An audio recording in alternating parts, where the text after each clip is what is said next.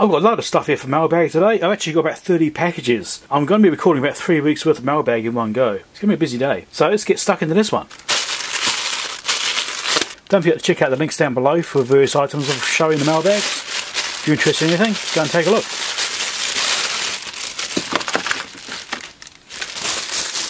Right, these are some mounts.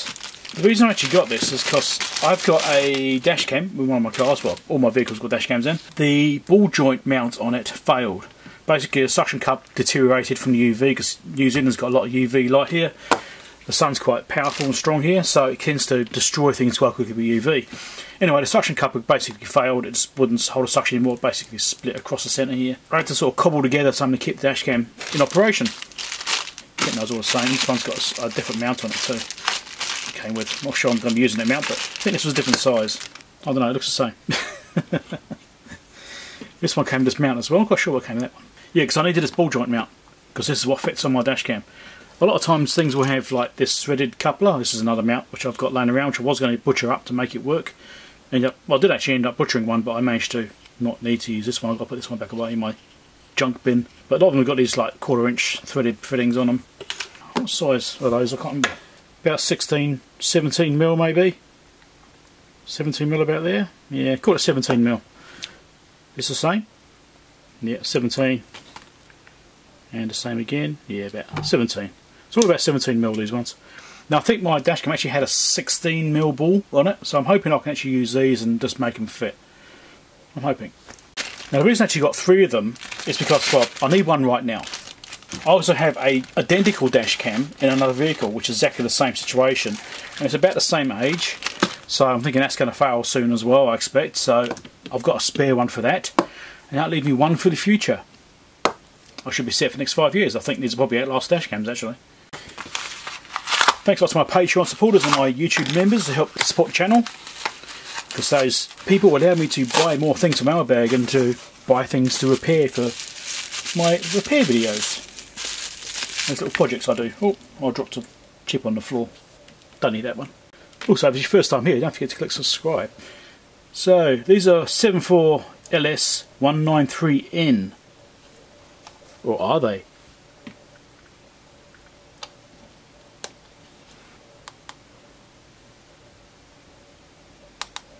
Not found. Hmm. Okay. You see, we're not in here, or it's not real. I've got some more 193s here. Let's have a look at one of these, see if these pass the test. Just ones, ones I've already got. No, I can't find them either. So, okay. They may be real. Who knows? I need a better tester. Oh wait, I probably actually have one. Hmm. So I've got out my Retro Chip Tester Pro here, which does lots and lots of chips. There we go, 74193 well that's an LS which is not quite the same but it's similar. Let's try it. Oh I should put the chip in there first. Okay.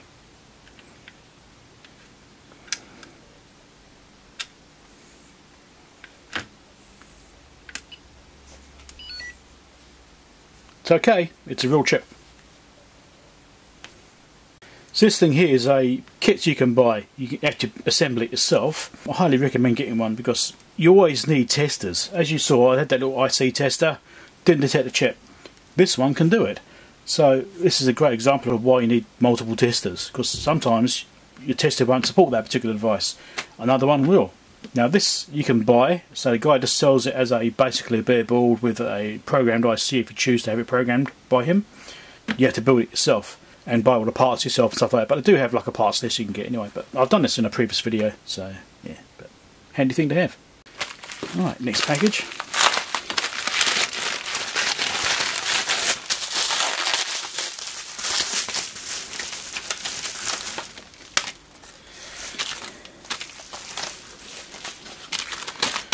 It's a couple of capacitors. 25 volt 25 microfarad. I seem to keep getting these in drips and drabs. Like I get a couple here, the couple there. They all just keep turning up really slowly. I think I must have ordered a bunch of them at one point, and as they gradually get in stock, they're gradually sending me a couple. I think it's like four or five different times now. I've had two in a bag by themselves like that. Um, yeah, just capacitors. Someone will please anyway. Some people really like it when I get capacitors in mailbag. don't you? You know who you are. So I was recording this video on this particular item, the mailbag, which I opened up and everything on camera. Because my camera runs off a mains powered system, it lost the footage. Good job I do it in chunks, isn't it? Anyway, 40 amp fuses, that's what's in here. Okay, so I actually got these from Motorhome, and I did a big explanation about how it works and everything. It's really interesting. You should have been there. So this is now the third time I've tried to record this because we keep getting some power outages. Anytime it does it, I lose the footage. So these are 40 amp fuses, which are for my motorhome. And what I've actually got in there, I've got a big chunking relay in there. It's massive high current relay. And it's got two states. In one state, it's charging my vehicle battery from my house system. Actually, I should explain this in more detail. So in a motorhome, I've got two systems, right? So you have always have your vehicle battery, which is basically runs your engine, your vehicle stuff, right? Your standard engine battery stuff. Then you have your house battery, which is what runs all the accessories and what have you in the motorhome part, like your inverter and what have you. What I've got in mind is I've got this big relay in there, which links the two together in two different states. In one state, when the vehicle was basically parked, the engine's off, I've got a trickle charge circuit which runs from the house battery system to the vehicle battery. It goes, I've got a big 5 amp Schottky diode in there and a resistor, so it limits the current that can possibly trickle charge through. So I can't do too much. I think I can do like an amp or so, be fairly easy. I've done it to limit it so you can't do too much. And it's just it's just there to trickle charge the main battery. The main battery is always kept at a decent state. So if the thing's parked up for three months, which happens from time to time, then it will just sit there charging it up, keep the battery in a good state. And that was fine. In the other state, I have a basically a link between the vehicle battery and the motorhome battery in a basically a direct connection. On the vehicle battery end, I've got a thermal cutout, so it's basically rated at 40 amps, and when it reaches sort of 40 amps or so, it's got like a bimetal strip in it, and it'll just disconnect. It's an overload thing, and that's there to protect it all. That's from the vehicle battery end of it, and on the house battery end of it, I have a fuse block, and I just have a 40 amp fuse in that block. So if you have a large current, a brief period but high current, you can actually blow this fuse before it activates a thermal overload because obviously a thermal overload takes a little bit of a time to work. I've blown a couple of these fuses, I've had some issues with the system and I actually talk about it more in another video I expect. But it works basically but under certain circumstances it goes horribly wrong. And it blows a fuse. So I've had those circumstances a couple of times. And I only bought like a two pack of fuses at the time from the local distributor and they're really expensive. That's why I've got these so I've got a collection now for my lifetime supply of 40 amp fuses. But I'm also going to modify the system a little bit because right now there's basically no current limiting on it, apart from the fuses. So what I've actually purchased as well, which I don't know if it's in this mailbag or not, maybe in my future mailbag, I don't know, it may not be here yet, is basically a big high wattage resistor. And I'm going to put that in series with that circuit in order to limit current. So the idea is that right now, I say it's going battery to battery through the thermal overload and a fuse. So if the alternator is running, charging the batteries up, then it should be charging up the house battery at the same time and that's why I've got that link in there so when the engine's running it's charging up the house battery if it needs it right? So sometimes I'll actually need to do that when you've got like bad weather or middle of winter or stuff like that it's been very overcast and very cloudy and I've had no real charging power from the solar system. I've got like 700 or 800 watts of solar power on the roof of the motorhome so it can do quite a bit. But in winter it can be a problem and we do use a lot of power when we're doing events. So it can be there basically as a backup system. We don't plug in at all. We just use purely solar. When those two batteries are linked together through that relay, it's relying on no, not trying to draw too much current from that system whilst it's charging, and these fuses to protect it. And so what I actually want to do is put in a big resistor in there. I'm going to modify that because right now it's got a link across the relay, so it just links the two batteries together. I'm going to take that link out and put a, a big resistor in there instead. So that will limit the current a little bit and give it a bit of a buffer, which should at least stop blowing fuses when it's getting a really heavy load on it. it should give it a bit of a buffer there and reduce that stress. I think it's too much of a system right now, it's linking them directly together. So, um, yeah, anyway, that's that. Fuses. And a lot of waffling.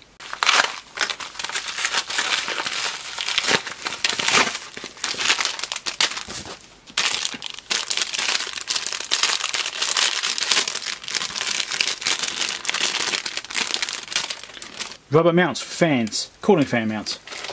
Think these all the same size. Fair to beat.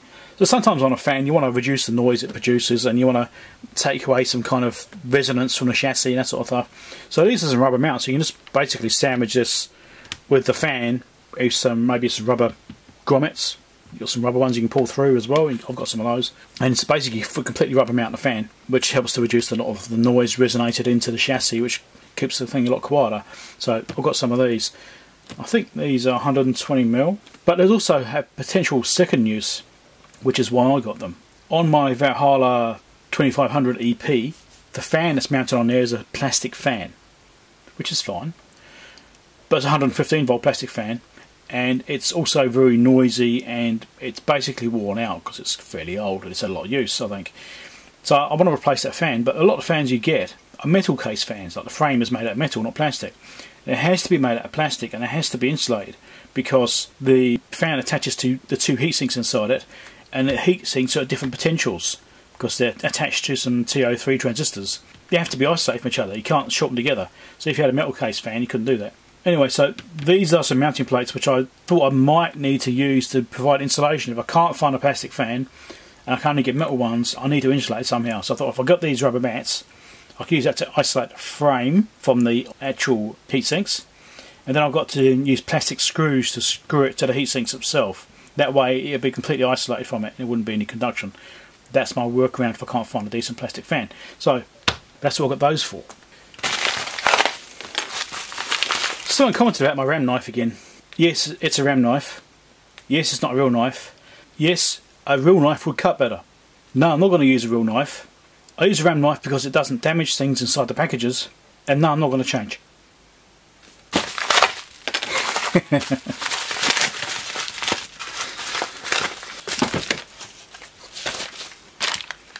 really? Hmm, okay. It's just a plug. New Zealand crappy plug. New Zealand plugs are rubbish.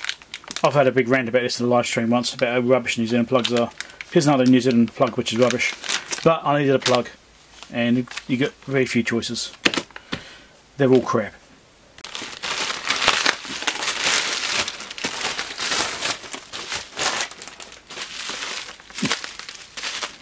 Okay. What's in here?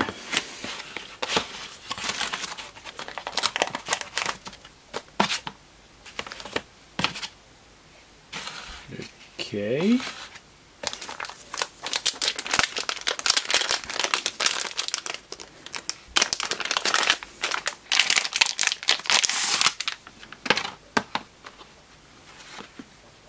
Ah, this is a review item.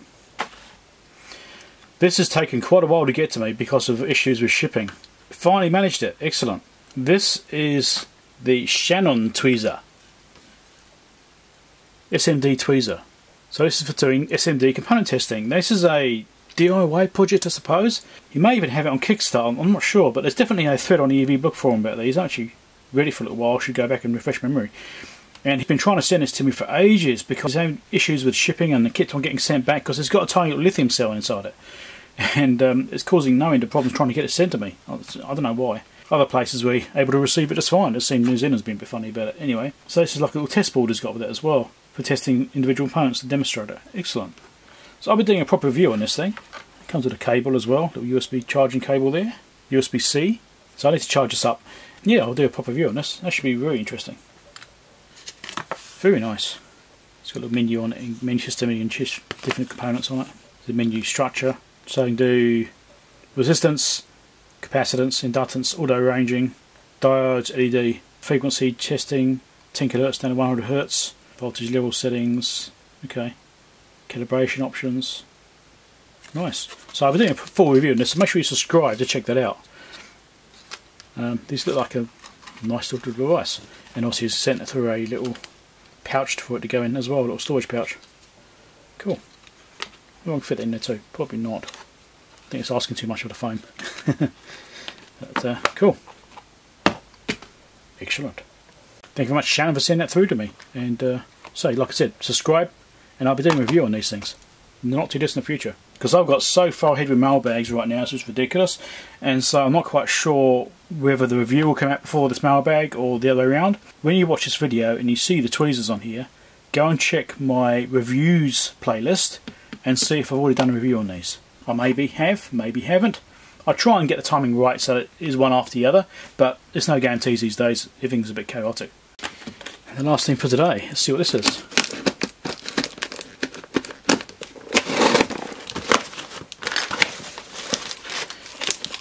Well, it's in China because it's got some Chinese newspaper. Only on the top though. Why don't people wrap things properly? I mean, wrap it in it. You know, anyway. Maybe stop rattling around the box, but the amount of times I've seen stuff with just stuff on the top of the box and nothing on the bottom to protect it, and the bottom's the one that gets dropped. So, this cart is training.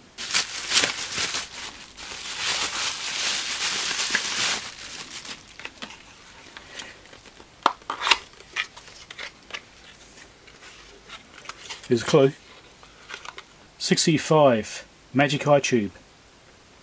Now this is for this thing over here.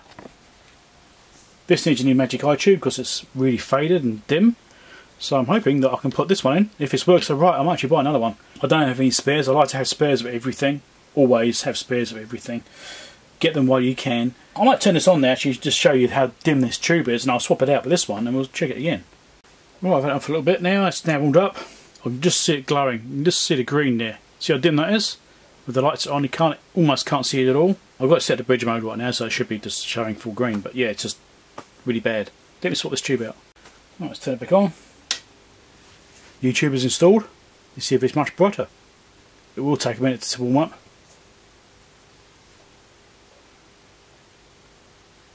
Here we go. Oh, look at that. That's much better. That's a huge difference. That's how it's supposed to be. Excellent. If I change it to discharge, there's Magic Eye. So I've got to rotate a little bit, I've got to rotate it around, get these two lines here to be horizontal, that way that will sit at the bottom. That'd be right then, but that's good. It works. Excellent. Happy with that. I'm going to buy some more then. That now means I can finish doing this repair video, which I've been waiting to do. I was waiting for a tube. So this is the original one. It's an RCA branded one. Yeah, oh well, time to get some more. Excellent. Don't forget to click like and subscribe if you're not been here before, and I'll catch you next video. Check out the playlist at the end. Bye.